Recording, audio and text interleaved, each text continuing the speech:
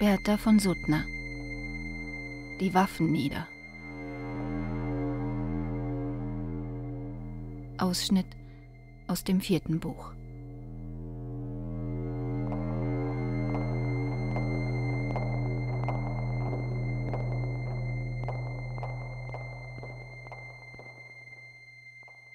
Rache.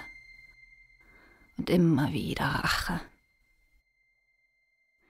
Jeder Krieg muss einen Besiegten aufweisen, und wenn dieser nur in einem nächsten Krieg Genugtuung finden kann, einem nächsten, der natürlich wieder einen genugtuungsheischenden Besiegten schaffen wird.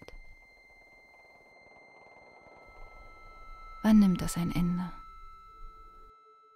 Wie kann Gerechtigkeit erlangt?